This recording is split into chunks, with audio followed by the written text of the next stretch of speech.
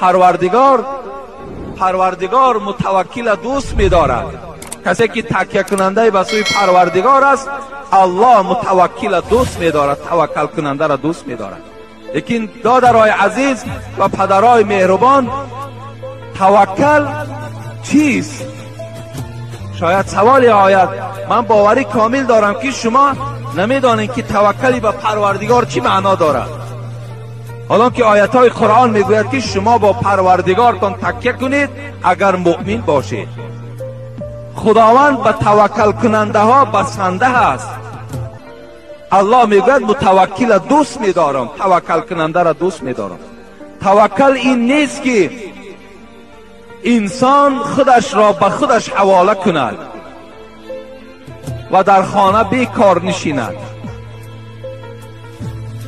در خانه بیکار می نشیند و توکلی بر خدا می کند. این توکل نیست. باید که ما اسباب ظاهر هم استفاده بریم. اسباب ظاهر باید استفاده بریم. لیکن در همین اسباب ظاهر اطمینان کامل نمی بندیم بلکه تمام اطمینان ما به سوی پروردگار حواله می‌کنیم. اسباب ظاهر می‌دانیم. اسباب ظاهر این است که ما و شما در یک کارخانه کار می‌کنیم. یا ما و شما اوستای چوب هستیم یا اوستای ماشین هستیم یا اوستای آهن هستیم. خب؟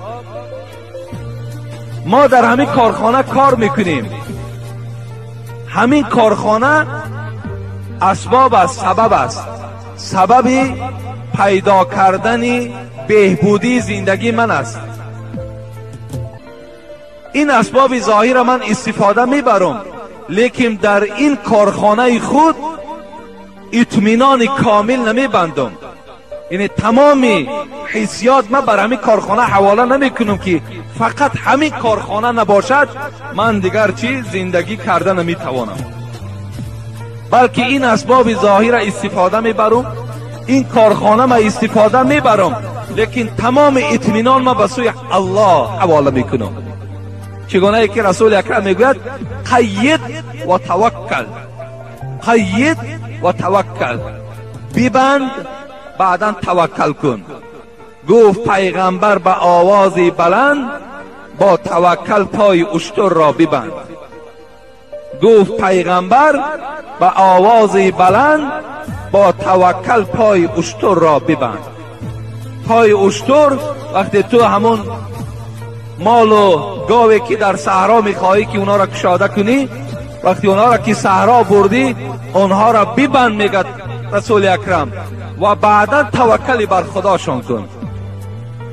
این از معنای توکل.